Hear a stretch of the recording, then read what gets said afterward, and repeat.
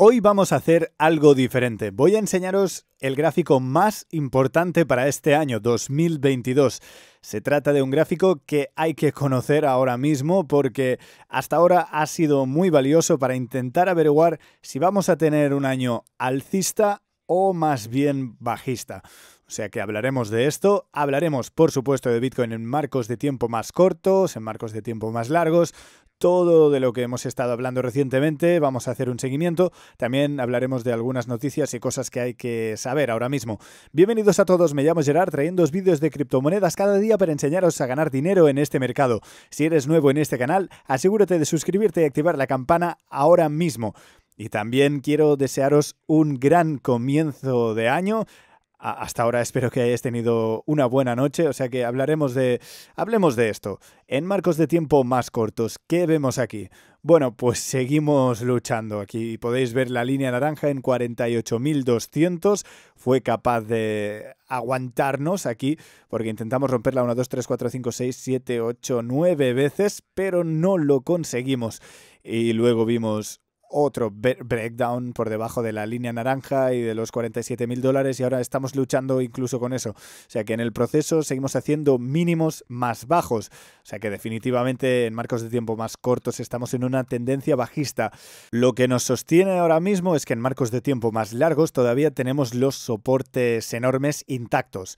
Esto es lo que por ahora nos está aguantando en Bitcoin, pero podéis ver que seguimos rompiendo a la baja desde estos niveles. De hecho, estamos teniendo una lucha enorme ahora mismo para romper por encima de 47 mil dólares aquí. O sea que no es demasiado bueno para Bitcoin en plazos de tiempo más cortos, pero continuemos, pasemos al marco, a marcos de tiempo más largos.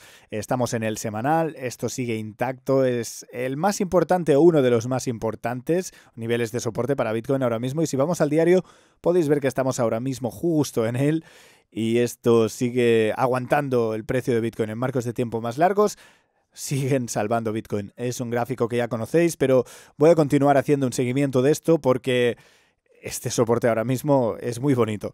Y si vemos un breakdown todavía... Por cierto, esto es otra cosa, y lo que quiero enseñaros aquí en realidad, antes de hablar de esto, hablemos rápidamente de esto, porque quiero hablar del siguiente nivel de soporte. En el marco de tiempo semanal, el soporte está ahora mismo en el nivel de 45.500 dólares. O sea que exactamente donde estaba ayer también, básicamente. O sea que prestad atención, vamos a formar una nueva vela. Esta vela se va a cerrar ahora mismo. O sea que, bueno, no es un mal cierre, estamos cerrando justo en soporte. Y entonces vamos a ver una vela fresca y mientras tanto esto podéis ver que estamos yendo hacia arriba. Mientras esto continúe soportándonos, vamos a llegar a niveles más altos eventualmente. Pero la cuestión es, por supuesto, si vamos a seguir avanzando, golpeando este soporte una y otra vez, en algún momento podéis ver que no está muy lejos en realidad. Tenemos que romper esto ya sea a la baja o al alza, lo que va a ser un gran movimiento. Ahora pasemos rápidamente a este gráfico, el que os enseñé antes. Ah, lo que quiero enseñaros aquí es que el triángulo que estábamos viendo ahora mismo, vimos un breakout, vimos una caída aquí estamos formando esta especie de arco, algo más o menos así, y luego el soporte. Esto es algo que ya hemos visto anteriormente también, aunque este triángulo es por supuesto mucho más grande, pero aún así vimos un breakout, volvimos a bajar a testear el soporte, luego vimos un pump enorme. Y bueno, con lo que os estoy diciendo, los niveles de soporte siguen intactos en el marco de tiempo más largo. No hay razón para que cunda el pánico ahora mismo, pero hay que ir con cuidado ahora mismo en plazos de tiempo más cortos y tenemos eh, tienen que aguantar los niveles de soporte en plazos de tiempo más largos, ya lo sabéis. Pero ahora, antes de pasar al gráfico más importante, hablemos rápidamente del S&P 500 de los mercados tradicionales. Ayer cerraron cerca de un máximo histórico, o sea que sigue pareciendo bastante fuerte. Aquí podéis ver que estamos formando este rango de consolidación justo aquí en los mercados tradicionales. No hay nada de qué preocuparse y sigue pareciendo bueno para Bitcoin. Hablemos del gráfico más importante para 2022. Esto lo posteó Trading Shot y podéis ver aquí bueno, un par de cosas diferentes. Esto puede parecer un poco desordenado, pero lo que ha hecho básicamente es dividir el mercado más o menos por años. Casi un año para cada color. El verde es cuando Bitcoin ha estado subiendo. Podéis ver la línea naranja es el precio de Bitcoin. La línea verde es el índice del dólar, lo que significa que si el dólar está ganando o perdiendo poder adquisitivo en comparación con otras monedas fiat, el DXY, esto es, y la línea azul es el SP 500, o sea, los mercados tradicionales. Eh, porque este es un gráfico con el que ya estáis familiarizados. La línea naranja, el precio de Bitcoin, línea azul, mercados tradicionales y línea verde, índice del dólar. Ahora bien, ¿por qué es importante el índice del dólar? Bueno, porque estamos midiendo todo en el mundo básicamente en dólares. Estamos midiendo el Bitcoin en dólares, todas estas cosas en dólares, incluso otras monedas fiat en dólares. Lo que esto significa es que cuando el índice del dólar está subiendo, como hemos visto recientemente, cuando el índice del dólar está subiendo, significa que está ganando poder adquisitivo en comparación con los otros activos del mundo, básicamente. ¿Y por qué es esto importante? Bueno, porque si lo medimos todo en dólares y el dólar está subiendo, esto significa, en general, que todo lo demás está bajando, porque otra vez lo estamos midiendo en dólares. Y esto es también lo que hemos visto aquí. Lo contrario también es cierto, cuando el dólar está bajando, suele significar que los activos suben mucho, porque otra vez estamos midiendo las cosas en dólares, ¿vale? Pues con esto dicho, la tesis aquí es que cuando el dólar baja, los activos y Bitcoin van a subir. Pero ¿qué pasa si también echamos aquí los mercados tradicionales, porque sabéis que normalmente cuando estos tienen una gran caída, también suele significar que Bitcoin va a hacer una gran caída. Así que vamos a superponer todo esto y podéis ver que Bitcoin tuvo una fase parabólica enorme en 2010, 2011, cuando los mercados tradicionales también estaban subiendo podéis ver que el SP 500 estaba subiendo aquí, la línea azul estaba subiendo, el dólar estaba cayendo, o sea, el dólar estaba cayendo bastante fuerte aquí. Bitcoin tuvo un movimiento parabólico en 2011, ¿vale? Entonces entramos en un, en un bear market, en Bitcoin vimos una gran caída en Bitcoin, pero el dólar está subiendo y los mercados tradicionales van de lado. Esto por sí solo nos muestra que probablemente es cierto que cuando el dólar baja, Bitcoin sube y cuando el dólar sube, Bitcoin baja. Y luego tenemos la acumulación, tenemos todo esto básicamente yendo de lado, o sea que Bitcoin va de lado, el dólar va de lado, el SP 500 está subiendo ligeramente. Bien, entonces entramos en la siguiente fase alcista de Bitcoin, movimiento parabólico enorme para Bitcoin. Y podéis ver que el dólar estaba yendo de lado aquí. Y los mercados tradicionales subiendo. O sea que otra vez de nuevo la correlación entre los mercados tradicionales y Bitcoin sigue intacta. Los mercados tradicionales suben, Bitcoin sube con más fuerza y el dólar no se derrumba, el dólar va de lado. Lo más importante es que el dólar no sube. Vale, entonces entramos en un nuevo ciclo bear para Bitcoin. Bitcoin baja, el dólar sube muy fuerte y el mercado, el mercado tradicional también sube, o bueno, va de lado, sube un poco.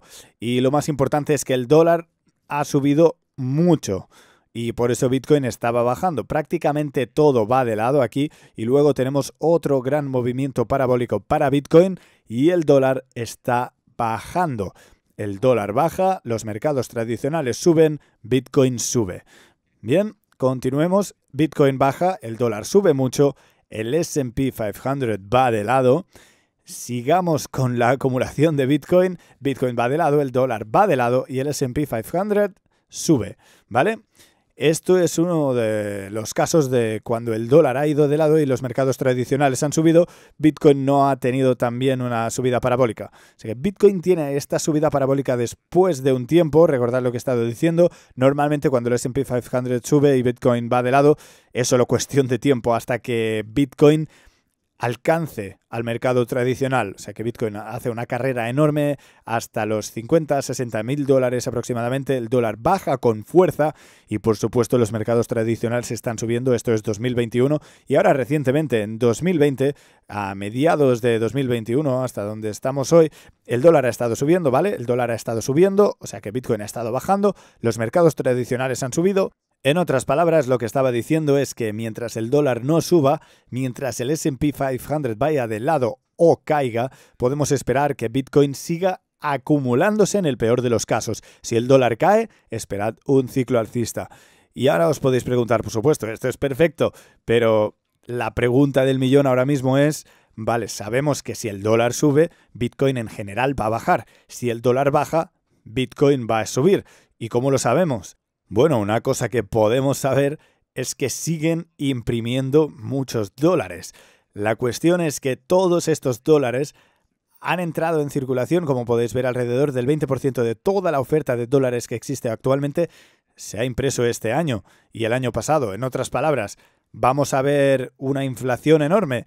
Esto significa que el poder adquisitivo del dólar va a bajar y que el índice del dólar también va a bajar. Pero al mismo tiempo, la Reserva Federal ha dicho que va a detener un poco la impresión de dinero que va a reducir las compras de bonos, lo que significa que no van a inyectar tanto dinero en la economía y que van a aumentar los tipos de interés, lo que en cierto sentido amortigua la impresión de dinero porque no hay tanto dinero barato disponible para pedir prestado.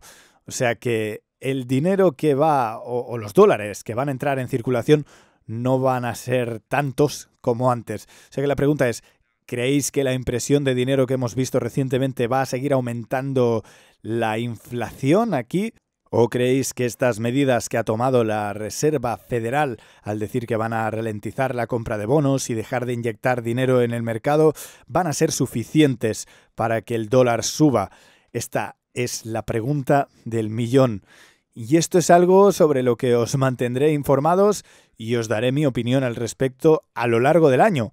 Por supuesto, estos contenidos estarán en el canal, pero creo que va a ser una de las cosas más importantes a tener en cuenta. Mucha gente me ha preguntado sobre casta y cómo participar en ella, ya que es una moneda que creo que le va a ir muy bien en 2022 y si queréis conseguirla podéis hacerlo en Bybit. Lo único que tenéis que hacer es holdear tokens uh, Bit BitTokens durante todo el día de hoy, básicamente hasta el 4 de enero, y esto os dará la oportunidad de comprar casta. Es una moneda en la que estoy metido que creo que le va a ir muy bien, o sea que solo quería señalar esto. Y si aún no tenéis una cuenta en Bybit, podéis registraros aquí con el enlace y también conseguiréis un bono de 4.530 dólares. Muy bien chicos, gracias por ver el vídeo nos vemos en el siguiente.